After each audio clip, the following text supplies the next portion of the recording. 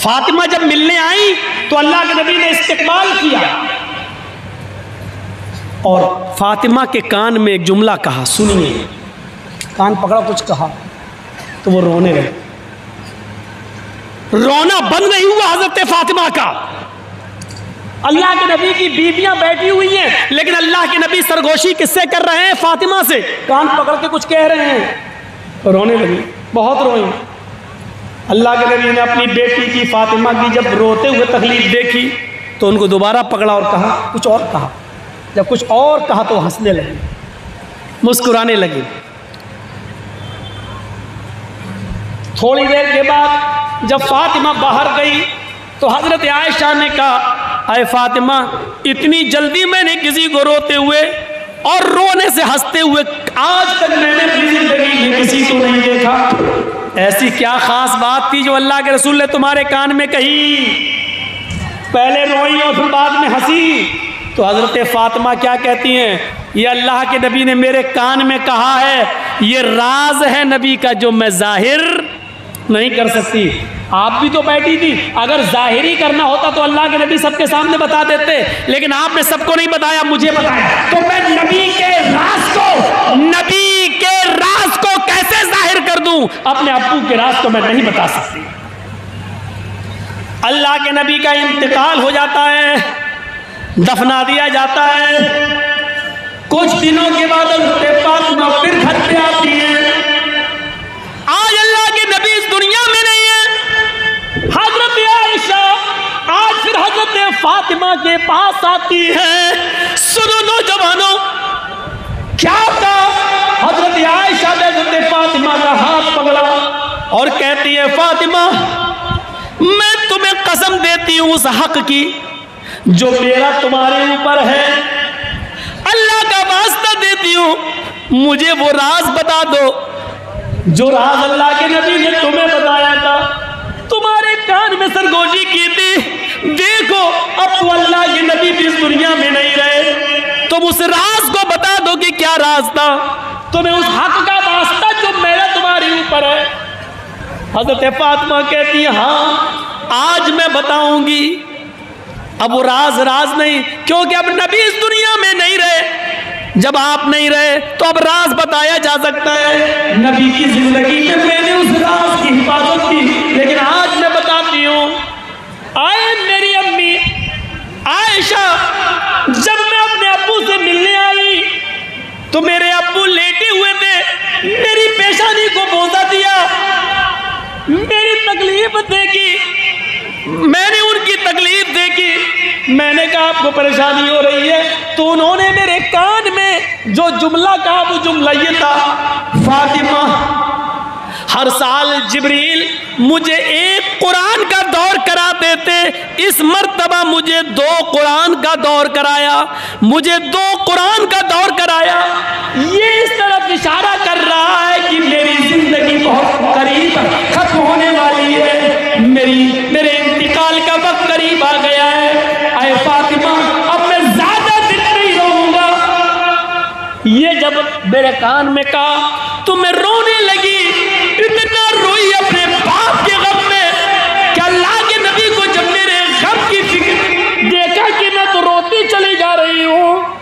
आपने फिर मेरे कान को पकड़ा और करीब किया और मुझसे कहा कि फातिमा, तुम रोती क्यों? तुम्हें खुश होना चाहिए इस बात से कि मैं जा रहा हूँ। मेरे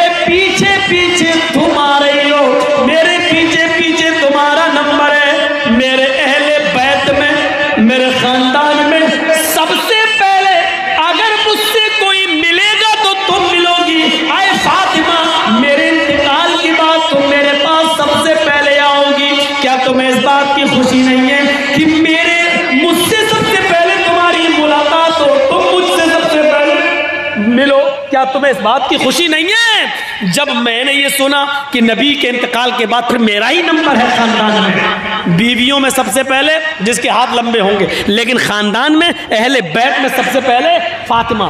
क्या कहा था कि तुम सबसे पहले मिलोगी मुझसे? तो जब ये कहा अल्लाह के रसूल ने कि तुम सबसे पहले मुझसे मिलोगी तो मुझे हँसी आ गई। मैं हंसने लगी। मौत की खबर सुन के कोई हंसता है? मौत की खबर सुन के कोई हंसता है? नहीं, लेकिन जब फातिमा को ये पता चला कि मेरी इंतकाल का वक्त करीब है, अब्बू के बाद सबसे पहले मैं ही जाऊँगी तो मुस्कुराने लगी। ये इस बात की दलील है कि मोमिन मौत को अपने करीब देखता है तो उसके चेहरे पर मुस्कुराहट आती है। घबराहट नहीं, क्योंकि वो जानता है कि थर्ड क्लास से फ़र्स्ट क्लास की तरफ़ मैं जा रहा हूँ। थर्ड क्लास से फ़र्स्ट क्लास की तरफ़ मैं जा रहा हूँ।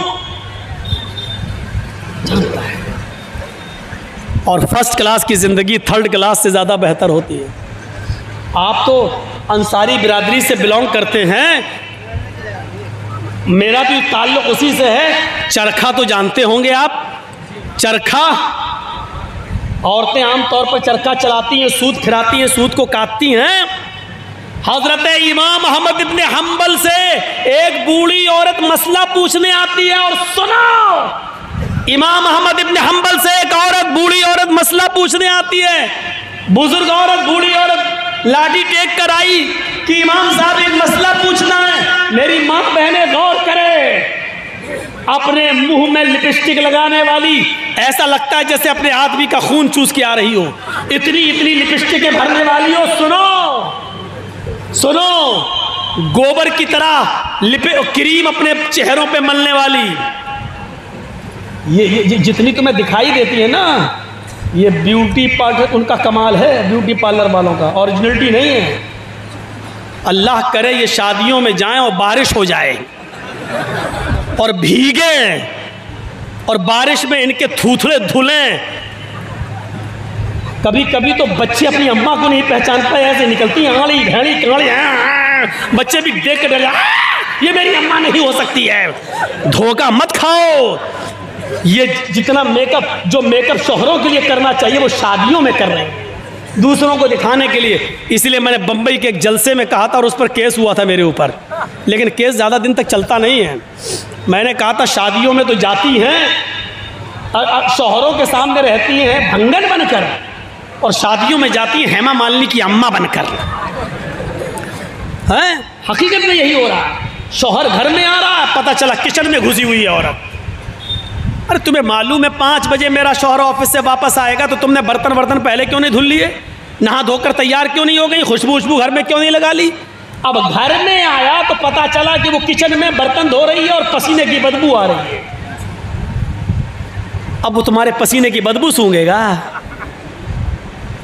नहाया, धोया, निकल गया घर से, अब रात के बारह बजे आ रहा। तुम्हें शिकायत करने का क्या हक है कि मेरा पति रात के बारह बजे घर आता है?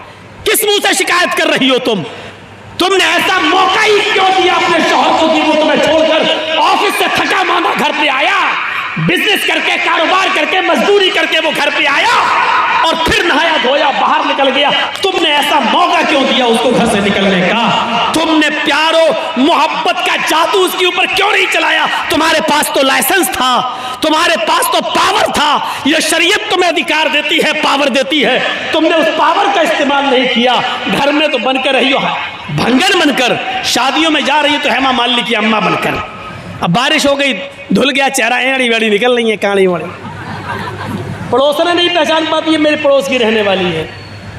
इतना भयंकर मेकअप अब तो मेकअप भी ब्यूटी पार्लर आने लगा। वो वो, क्या बोलते हैं? वाटर प्रूफ आने लगा।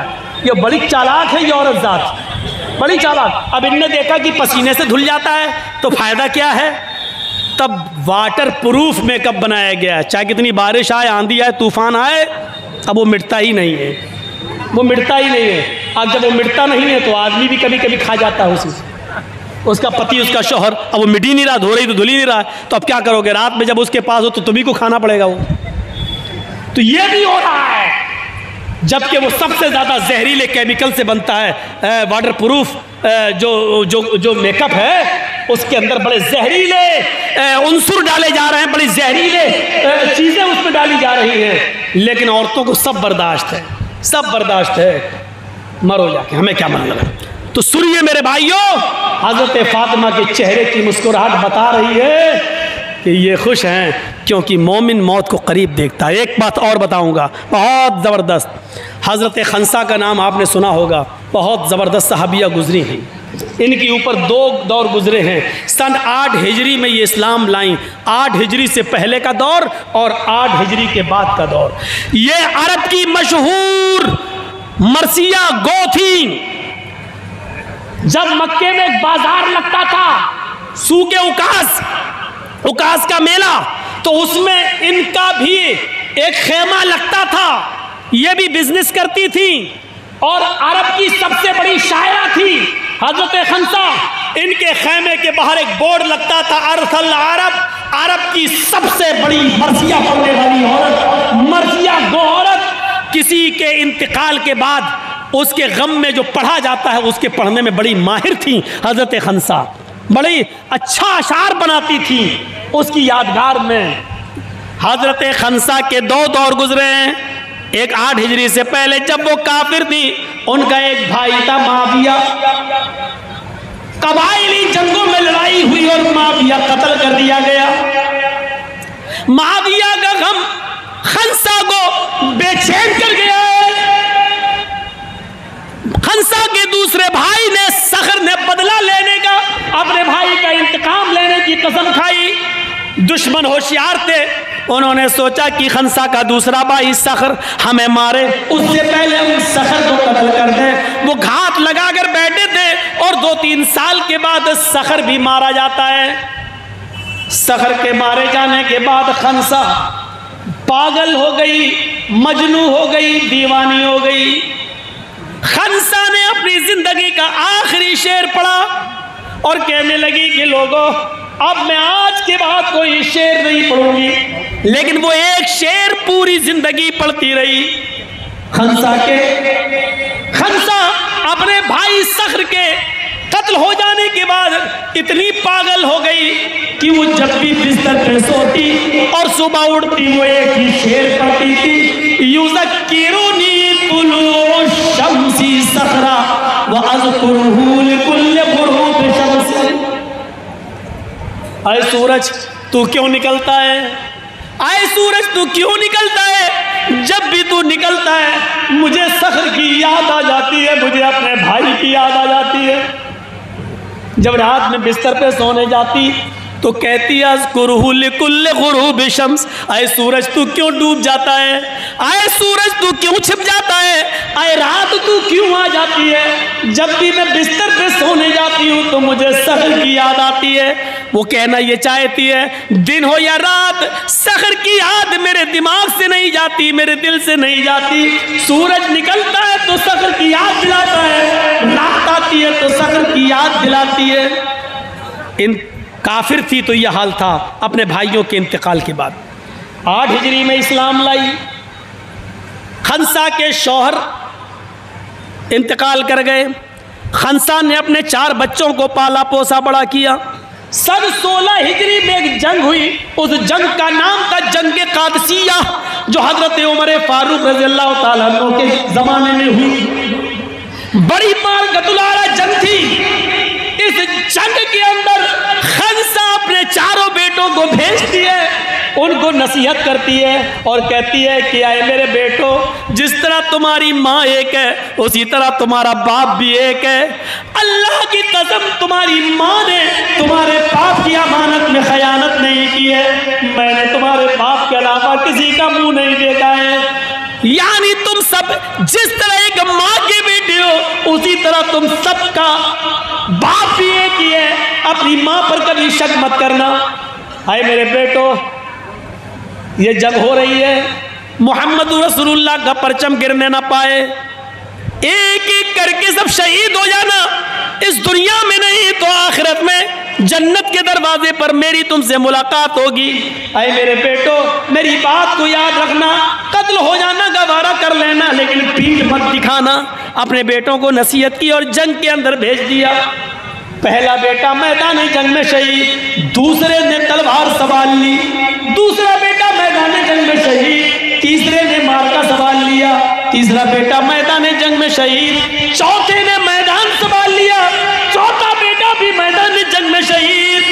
खबर आती है खंसा के पास, आए खंसा तेरे चारों बेटे कत्ल कर दिए गए, चारों बेटे शहीद हो गए।